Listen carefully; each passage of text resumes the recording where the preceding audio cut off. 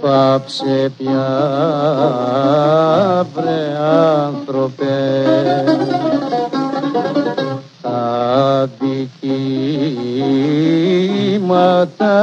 σου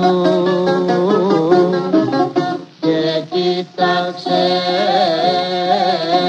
να λυτρωθείς από τα κρύβηματα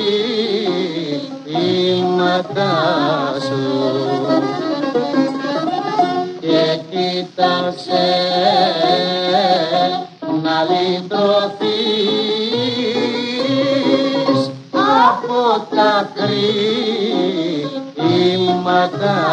σου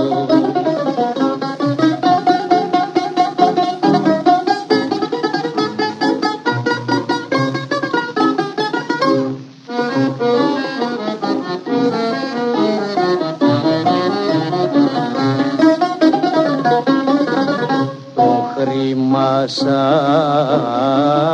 θα βγει ψυχή. Δεν έχει πια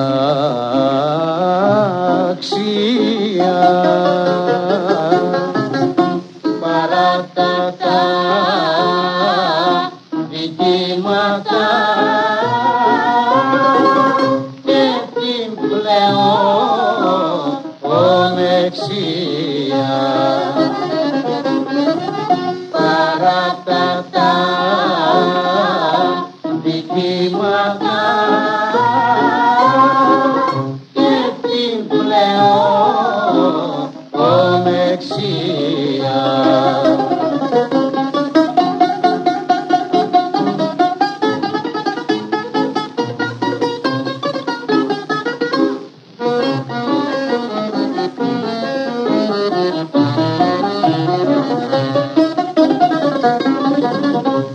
σώμα σου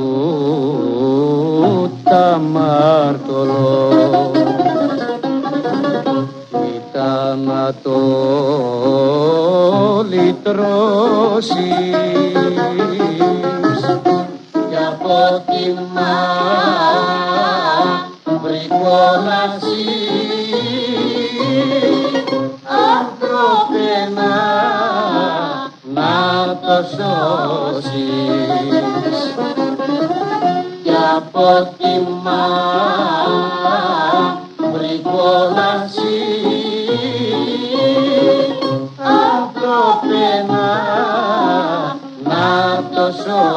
σώσεις